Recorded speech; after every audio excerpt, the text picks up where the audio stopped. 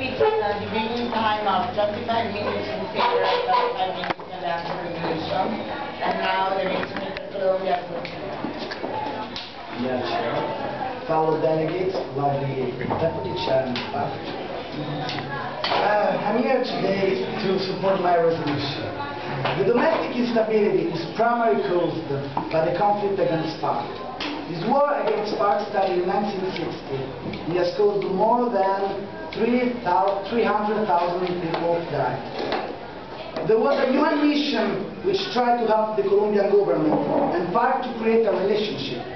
But it failed in 2002, when all contacts between the two groups broke up.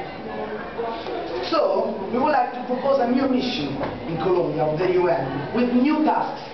In fact, we have to take a stronger position against FARC because they didn't want our help in the past. And uh, we have to give a strong answer to this problem because if FARC will uh, arrive to this aim, in the future, other terrorist groups will uh, try to make other wars in the world. And I don't think, and we don't think that all the member states here would like to have an uh, internal war like we have in the last 40 years.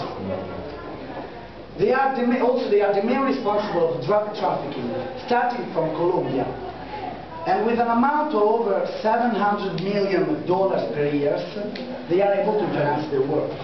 So, we ask to all member states to help us in this problem because Colombia government is not able to fight it alone. In fact, there are 40 years that we are trying to fight it.